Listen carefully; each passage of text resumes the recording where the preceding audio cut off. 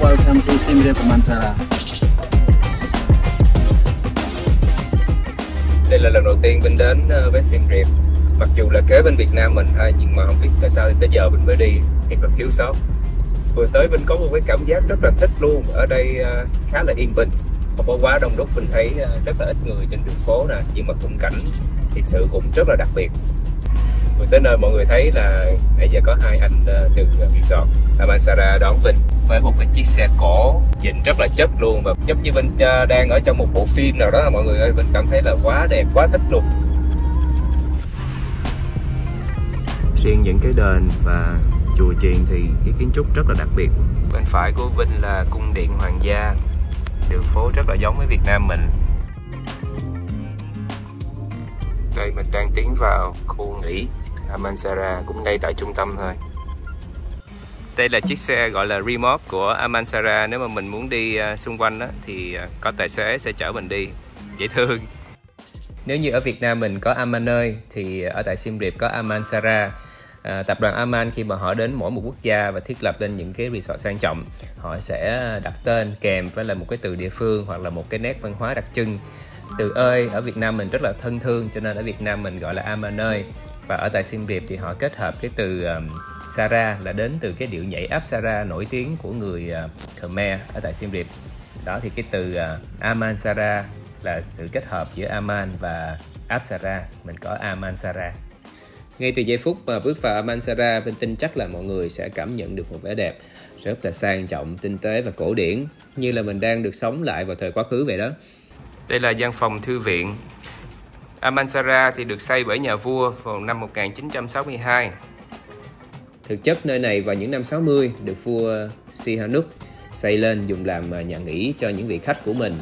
Ở đây có à, phòng ăn nè, phòng à, thư viện, có hồ bơi, đầy đủ tất cả mọi thứ. Rồi bây giờ bên chuẩn bị ăn tối.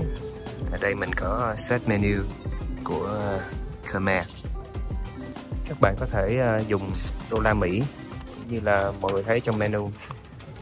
Để đây là để đô la giá đô la Mỹ luôn ha món ăn chính thì tầm 25 đô tới 30 đô. Giá đây là bên nghĩ giá tiêu chuẩn cho các resort. Ở khắp nơi thôi. Khi mà tập đoàn Aman vào làm à, khách sạn thì họ vẫn gìn giữ lại khu nhà này còn nguyên vẹn. Và cái khu nghỉ của mình phía bên kia có những cái hồ bơi riêng và những villa mới đó là được xây sau này. Ăn tối xong rồi bên leo lên chiếc remote này. Đây anh tài xế sẽ chở mình uh, đi tham quan à, vào thành phố. Bên kia là chiếc túc túc. Rất là bình yên, dễ chịu. Đây là đường phố Siem đẹp ban đêm. Mình thấy có một số nơi là ghi tiếng Việt nữa. Đây là chỗ mình đổi tiền. 400 đô mình sẽ đổi được à, 1 triệu 640 ngàn tiền cam. Giống như mình đang ngồi trên ờ, túc túc ở bên Thái Lan nhưng mà rất là khác. Đây trước xe. Mình thấy uh, mọi thứ cổ điển hơn bình yên nè lãng mạn không khí thì khá là trong lành. Có 7-Eleven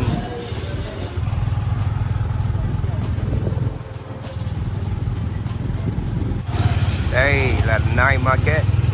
Qua tới chỗ này thì Vinh thấy giống uh, Thái Lan.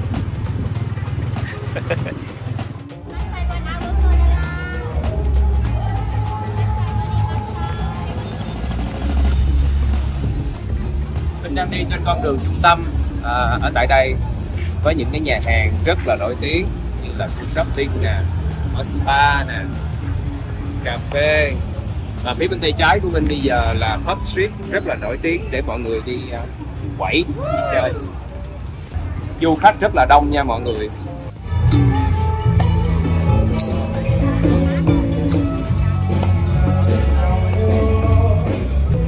Giống người Việt ha nhưng mà rất là sạch sẽ nha mọi người. Và thiết kế của các tiệm đẹp nữa. Có gu.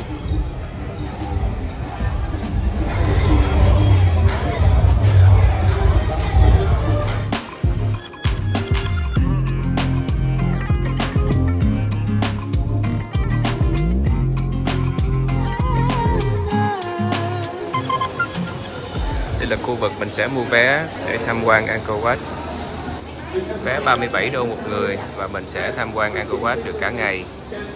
Khi mua vé thì mình phải ờ, chụp hình nữa. Đây có cái camera ở đây. Trên cái vé có hình của Vinh luôn nè.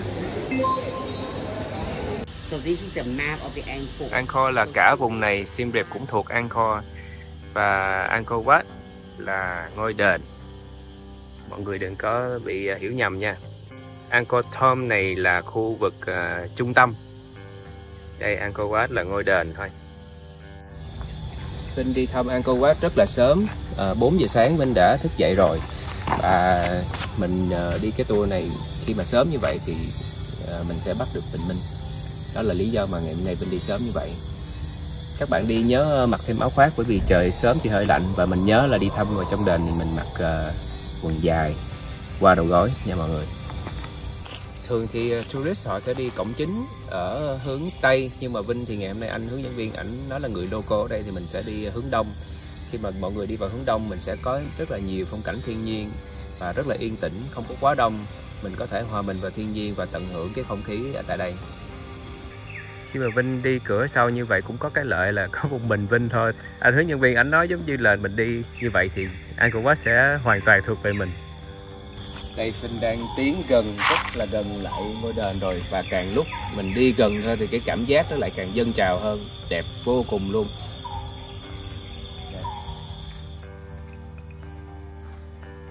Đây là Naga Yeah, người it's a bảo vệ symbol. à, đền à, Angkor Wat. Đây là mình còn lại tàn tích thôi mình cũng không nhìn rõ có thể là rồng hoặc là rắn. Và người Khmer họ tin rằng rồng hay là rắn đều là người bảo vệ và mang lại sự bình an sức mạnh để bảo vệ khu đền. Và khu đền thì ờ, được xây theo cái ý nghĩa và cái biểu tượng của vũ trụ. Và họ tin là Phật thì sẽ ở giữa vũ trụ. Phía Vinh đang đứng thì được coi là nơi linh thiêng. Vào thế kỷ thứ 12 thì mọi người không có được phép ở đây, mà phải ở ờ, xa phía ngoài này. Phía này thì là, sẽ là phía người dân ở. Còn ở đây là gọi là holy đó, holy place là chỗ linh thiêng rồi.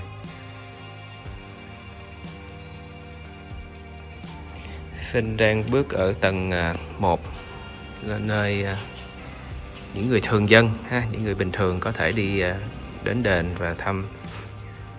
Mọi người có thể thấy những cái chi tiết. Tuy còn là tàn tích thôi nhưng mà khá là ấn tượng. Angkor Wat được xây dựng hơn 40 năm ờ, với hơn 300.000 công nhân và rất là nhiều nhiều mấy chục ngàn con voi di chuyển vật liệu là chủ yếu là đá từ trên núi, cách đây 60 km đây là library, thư viện. Có 12 job như thế này, nhưng mà hiện tại thì chỉ còn lại 5 thôi. Lên tới tầng 2 rồi thì mình mới thấy là đẹp đỉnh hơn nữa. Cụ thể di tích đền Angkor thì có đến trên 1.000 ngôi đền với kích cỡ và hình dáng khác nhau mang đậm phong cách kiến trúc Khmer. À, ngày hôm nay thì Vinh sẽ cố gắng đi thăm Angkor Wat, Angkor Thom, Bayon và Thap Prom. À, để mà đi nhiều hơn thì mình nghĩ là sẽ phải mất nhiều ngày hơn thì mới có thể đi được khá khá chứ không thể nào đi hết được. Trên những bức tượng điêu khắc thì mình còn thấy là tô son à, giáp vàng thời xưa nhưng mà sau à, chiến tranh và trải qua các thời kỳ thì bây giờ không còn nữa.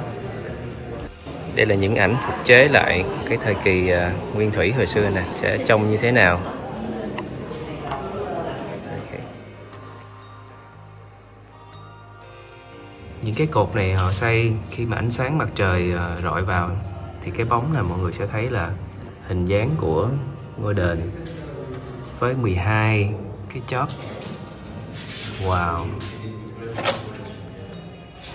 đây là cổng chính khi mà nhà vua vào mình còn thấy những cái hoa văn những cái nét chạm trổ nó tinh xảo hơn nhiều. À, cái điều mà làm cho Vinh ấn tượng nhất đó là không hiểu tại sao ở một cái à, thế giới cổ đại mà họ có thể xây nên những cái công trình kiến trúc vĩ đại như thế này. Tảng đá nè đó, họ sắp từng tảng từng tảng chồng chất lên nhau nhưng mà nhìn rất là tự nhiên. Ngay cả ở trên nóc vòm lại còn có những cái trang trí mà điêu khắc rất là tỉ mỉ và tinh tế đây là con đường mới để đi vào đền. Như mọi người cũng thấy là Vinh đi từ phía sau trước ha. Sau bây giờ Vinh mới đi ra cổng chính phía ngoài này. Vinh nghĩ đi như vậy thì mình sẽ tránh được ờ, đông khách. Tại vì ờ, mọi người lúc sáng sớm họ sẽ đi vào cổng chính. Thì lúc đó mình đi cổng sau. Xong rồi cái ờ, giờ mà họ đi vào cổng sau thì mình lại đi ra cổng chính thì đỡ vắng hơn. Sau khi tham quan đền thì Vinh sẽ ghé The House của Amansara luôn để ăn sáng ngôi nhà này uh, kiểu của người Khmer và đã được 100 tuổi rồi những cái món ăn sáng ngày hôm nay thì được nấu từ than nên mình cũng rất là háo hức để chuẩn bị được thức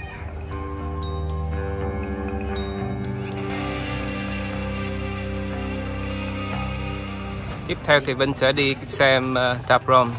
Đây đây là địa điểm mà đã quay bộ phim nổi tiếng Tomb Raider. Ngôi đền này được xây uh, do vị vua một nửa nhà tu hành, một nửa là nhà vua. Ông ờ, xem bản thân mình như là một ờ, người đã xuất gia rồi thì ông xây lên cái đền này để tặng cho mẹ của mình. Đền này ờ, còn có tên khác là gọi là đền mẹ.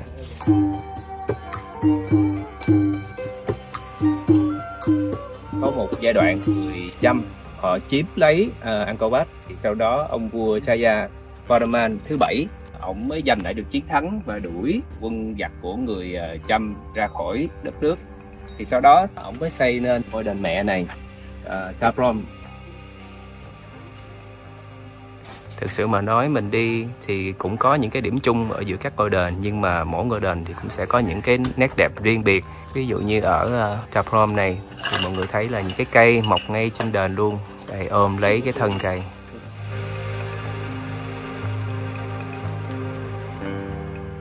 Và đây là cái cây mà gọi, gọi là cây bạch tuộc. Bởi vì cái rễ là mọi người thấy như là con bạch tuộc vậy đó. Đây là một trong uh, năm cánh cổng để vào Angkor Thom của vua Saya để ông có thể nhìn thấy và bảo vệ người dân đó là ý nghĩa của cánh cổng khi mà có uh, bốn gương mặt ở bốn phía. Và bây giờ Vinh đang đứng ở trên uh, bức tường thành. Có vài bước thôi nhưng mà lên đây thì mình sẽ thấy cái ý nghĩa rất là hay bởi vì nơi này là nơi mà quân lính và voi hồi xưa họ sẽ đi tuần cái khu vực này để bảo vệ an ninh cho khu vực ở trong thành. Đoạn đường này sẽ là 5 km đi theo hình vuông như thế này và mình quay trở lại ngay tại chỗ này.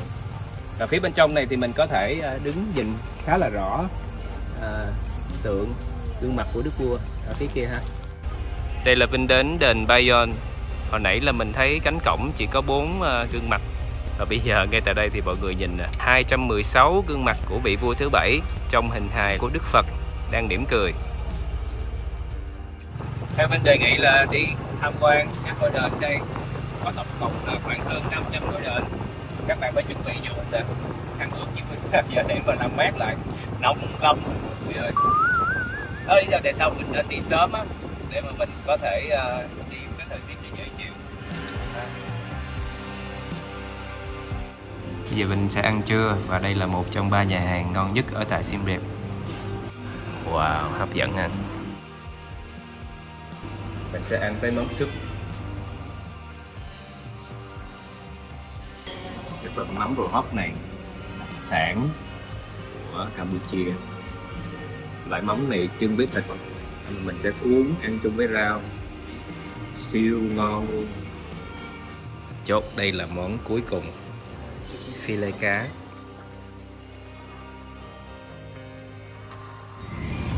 Buổi tối mình có thể lấy xe đạp đạp vòng vòng thành phố vắng và yên bình lắm luôn. Mình đi ngay dịp này à, rất là thích. Cuối năm từ tháng 9 tháng 10 trở đi đến mùa xuân thì đông hơn.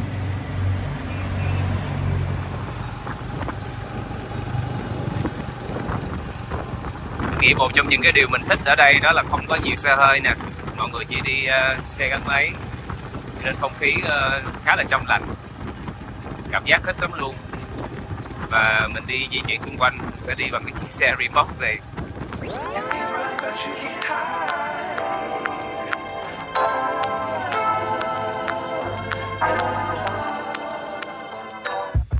Vinh đang ăn món đặc sản à, hủ tiếu Nam Vang ngay tại Siem Reap luôn. Các bạn đến ờ, uh, trên Việt thì mình phải ghé nhà hàng Madi có món hủ tiếu Nam Vang ngon nhất. Đơn giản thôi nhưng mà cái vị mình nghĩ là chuẩn nhất. À, trong này có tép mỡ có luôn cái sauce ớt cây cây này. À. thì ngoài món truyền thống mình có luôn đồ tây. Trà coffee đều rất là xịn. Chanri Tree.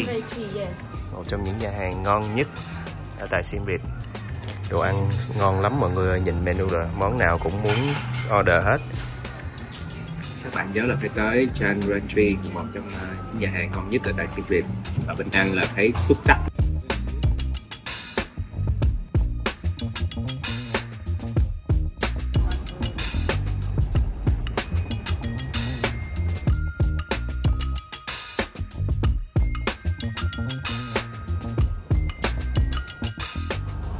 Mình sẽ đi thuyền ở Amansara để tham quan Tonle Sap đây cũng là một trong những hoạt động mà có ở trong cái ờ, tour của mình khi mình book Abansara Angkor nha mọi người.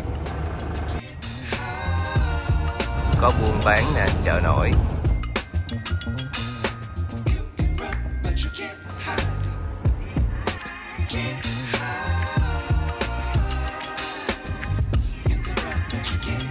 Khi mình đi mùa khô nè, thì nước khá là nông cho nên là không có đi vào làng nổi được lại phải uh, chuyển sang cái tàu nhỏ.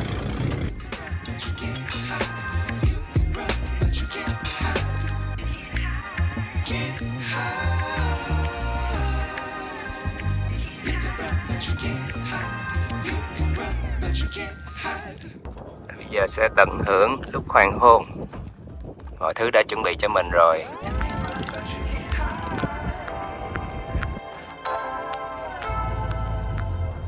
Vậy là 4 ngày 3 đêm của Vinh ở tại Siem Reap Vinh rất là enjoy luôn. Mọi người phải đi liền đến Siem Reap Rất là gần với Việt Nam mình.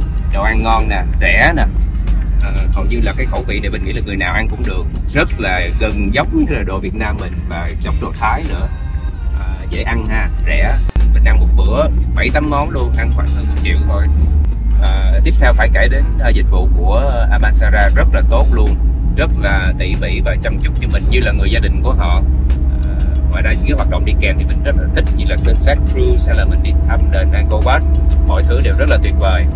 Tôi nghĩ là một chuyến đi đến Siem Reap sẽ rất là hợp lý dành cho các bạn mà không có nhiều thời gian. Ví dụ như hai ngày thôi là các bạn cũng có thể tận hưởng được ờ, giá phòng rẻ đồ ăn ngon. Bên cạnh đó những cái hoạt động ở đây nó cũng rất là gần nhau không có cần phải di chuyển xa thì mình đi ờ, ngắn ngày nhưng mà mình rất là nhiều hoạt động và không cảm thấy mệt. À, và một cái tip mà bên dành cho mọi người là mình nên đi mùa thấp điểm như thời gian mình đi là tháng 4, tháng 5, tháng 6 mùa hè à, sẽ không có quá đông khách du lịch. Mình sẽ không có phải uh, chen lấn và giá cả nó cũng tốt hơn nữa. Mùa cao điểm sẽ là mùa cuối năm tháng 10 à, ờ, tháng 11 trở đi. Thì du khách đến Siem Reap rất là đông. À, và nếu mà mình đi thời đó thời gian đó thì thời tiết nó dễ chịu hơn nhưng mà giá thành nó sẽ lại cao hơn bởi vì nó rơi vào mùa cao điểm và đặc biệt các bạn thích chụp hình nữa thì mình nghĩ là nên đi mùa thấp điểm để mình có thể uh, chụp những cái bức ảnh đẹp mà nó không có quá đông người. Mình không cần phải chen hay là thấy quá nhiều người trong cái khung hình của mình. Cảm ơn mọi người đã theo dõi. Hẹn gặp lại mọi người đợt sau.